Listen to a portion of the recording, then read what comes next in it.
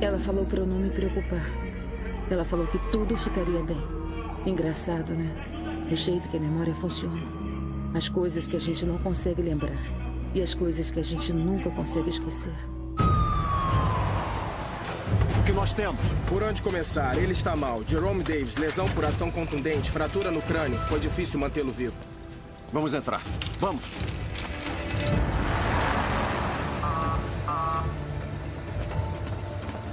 Não, não, não, peraí, não, mais um? Não, não, não, não, não. A gente já pegou aquela moça e a filha dela, a garota das tripas e o garoto com ferimento na cabeça. Graça a pouco é bobagem. Ok, é melhor levar para outro lugar, porque não somos um centro de trauma, não estamos equipados para esse tipo de coisa, não temos espaço.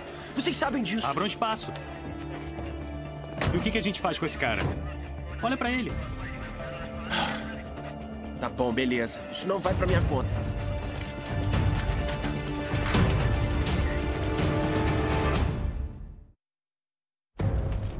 Homem não identificado. Foi atingido por um caminhão, traumatismo na cabeça, peito e abdômen. Hipotensão persistente depois de 2 litros de solução salina. Pulso filiforme em 130. Você não tá morto. Apenas respire. Quero quatro unidades de sangue. Laceração no couro cabeludo, talvez múltiplas fraturas. Tente ficar parado. Homem não identificado, acidente de carro, teve que ser removido, perda de consciência no local, ele mal responde. Escala de coma 10.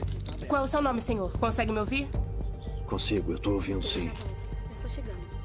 Perda da capacidade verbal. Possível hemorragia no As cérebro. pupilas estão iguais e reativas. Bom sinal, mas deveriam fazer uma tomografia. Tórax instável do lado direito. Preciso de um tubo 36 agora. Senhor, pode me dizer seu nome? Ele ainda tá hipotenso e com taquicardia depois de dois bolos de fluido. Ele pode estar com hemorragia no peito. Coloque duas unidades de sangue. Eu preciso de exame de sangue, raio-x e triagem sanguínea. E alguém chame a cirurgia de novo. Agora mesmo. Ela é inteligente. Gostei dela. Me desculpa, isso vai doer. Mas temos que fazer isso.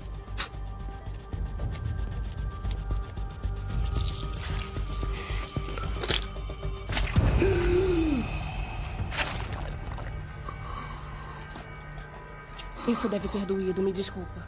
Pode, por favor, me dizer seu nome? Pode me dizer alguma coisa?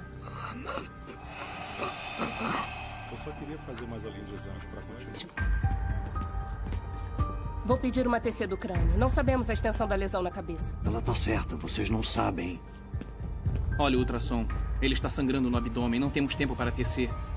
Arrogante. Porque ela é mais nova que você e provavelmente porque é mulher. Eu só acho Não que. temos tempo para tomografia. Ele tem que ir para a sala de cirurgia. Você tá certa. O que, que há? Não desista. Mas nós ainda não A sabemos se. escala de coma não mudou desde que ele chegou. A tomografia pode esperar. Exames da vértebra cervical, peito e pelvis estão aqui.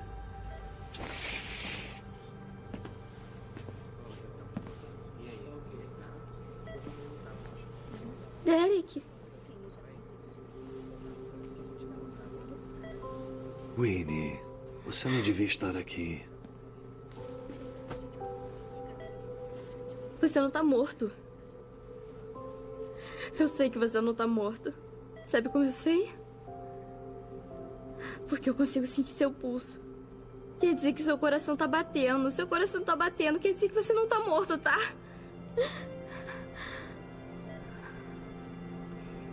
Aí. Olha pra mim. Continua vivo, tá bom? É um belo dia pra salvar vidas, não é? Então você tem que continuar vivo.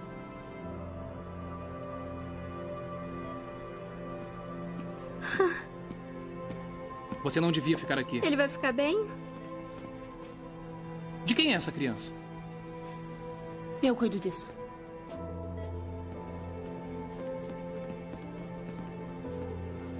Eu não tô morto. Eu não tô morto.